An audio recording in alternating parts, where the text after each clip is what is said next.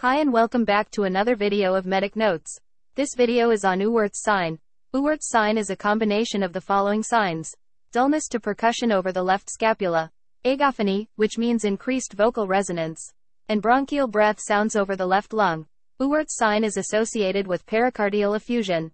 For its mechanism, a large pericardial effusion can compress the left lung, causing consolidation and atelectasis, which alters percussive resonance. If the effusion enlarges sufficiently to collapse or consolidate the lung, increased vocal resonance and bronchial breath sounds will be heard. That's all for this video. Thank you.